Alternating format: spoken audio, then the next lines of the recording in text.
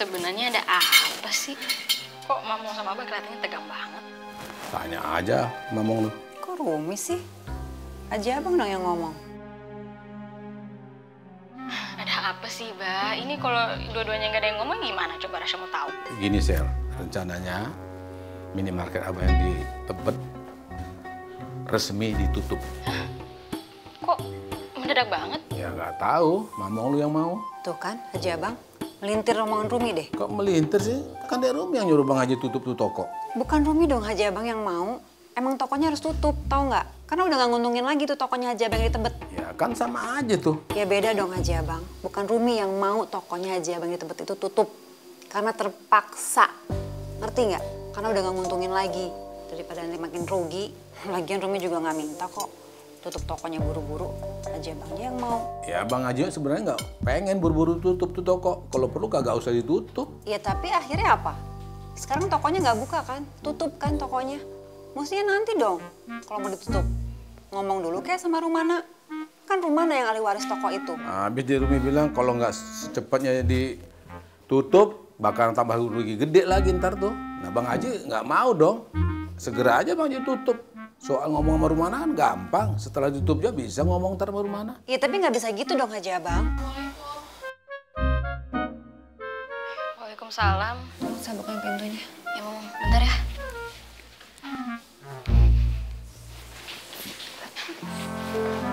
Assalamualaikum, Mbak. Waalaikumsalam. Yaudah, Bro. Sekalian sarapan yuk. Nggak usah deh Umi. Rum tadi udah sarapan di rumah. Rum, Ya, Bah.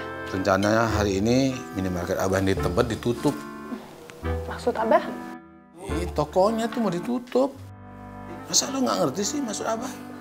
Iya, Rum ngerti, Bah. Minimarketnya mau ditutup kan? Cuma kenapa dadakan? Umi lu yang minta tuh. Tuh kan. Nyalain Rumi lagi deh. Bah, udah deh. Nggak usah nyala-nyalain orang kayak gitu. Rum nggak suka. Lagian Rum juga udah tahu kok semuanya dari Rachel. Ya elah Rum, buat apa sih nunda-nunda kalau emang rugi? Ya udah aja langsung Abah tutup.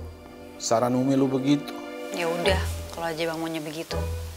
Ntar Rumi bantuin. Tapi cuman itu yang bisa Rumi bantuin.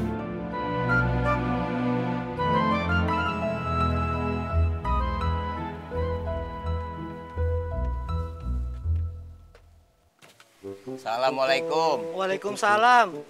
Lagi Eh, lu mut, gua kira siapa?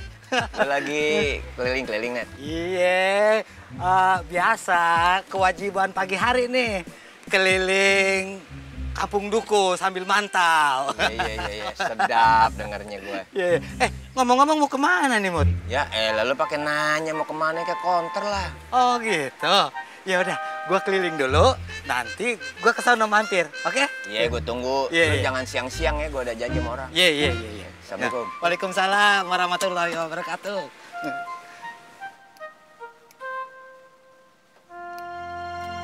Eh, dikirain si Ken, Babi mau ngajak ke mana tahu ya cuma di pos ronda doang.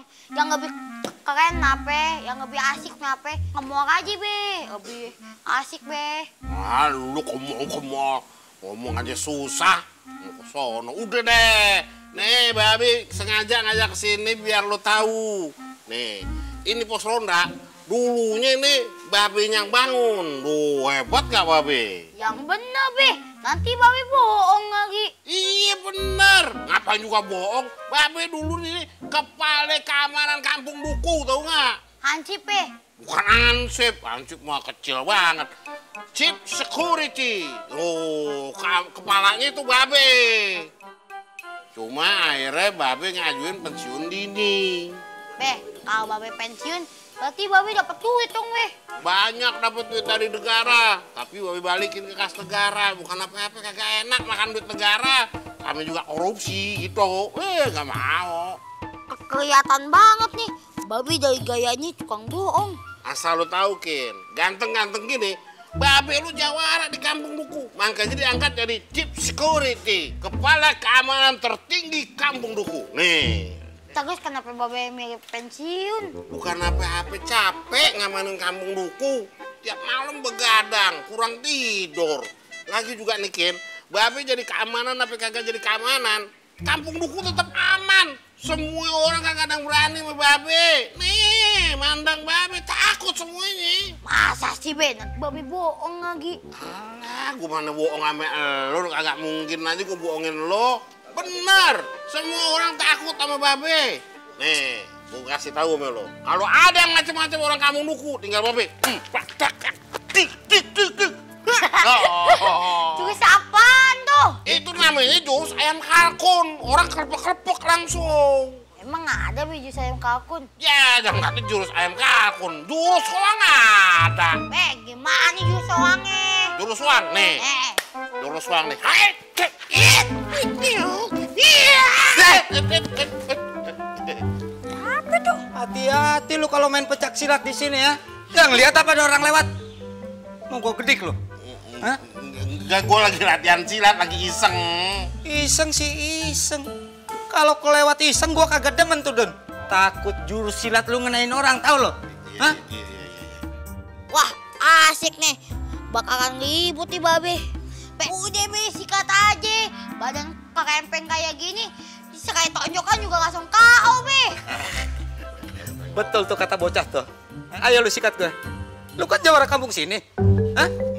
Ayo. Babe, dari tadi ngakuin Jawa kampung tanpa tanding. Udah be, sikat aja jabanin. Seneng banget kalau lihat bapaknya KO. Gak tahu apa kalau gue ngeri sama manusia purba yang atu ini. Kok babe diem aja? Babe kayak ayam sayur ah. Apa-apa, babe kagak enak kalau mukul keamanan. Terus sakit songong lagi. Ah banyak ah banyak ngomong lah. Hei, ngomongnya jagoan Jawara. Be, masih gitu aja belum ditonjok aja udah jatuh duluan. Emang benar nih, jurus ayam sayur kayak babe paling top, paling enak kalau dimakan sampai sikin. Dasar anak durhaka. Lihat bapaknya kejengkang dia malah ketawa. Heran ya, Pok, gimana bisa Pak Haji Muhyiddin yang udah lama punya toko bisa gagal kelola toko dia yang lain? Iya, oh ya, malah yang saya dengar nih Bu, toko yang satu lagi mau bangkrut gara-gara sepi pembeli. Eh, lu ngegosipin gue ya? Eh, Pak Haji, bukannya kita ngegosipin Pak Haji. Cuman kita heran kalau dengar kabar toko Pak Haji yang satu lagi bangkrut. Iya, padahal Pak Haji kan udah lama mengelola toko. Masa nggak bisa mempertahankan tokonya biar gak bangkrut? Eh, lu pada denger ya? Yang namanya usaha apalagi berdagang toko itu ada pasang surutnya. Lagian juga minimarket yang satu yang macet, usaha gue yang lain lancar. Eh, asal lu tahu ya, gua ini keturunan darah orang kaya. Mana mungkin gara-gara minimarket gue yang satu tutup, gua bisa bangkrut? Nggak mungkin. Win, Ya Pak Haji. lu layani pembeli ya. Gua mau jalan dulu. Oh iya Pak Haji. Assalamualaikum.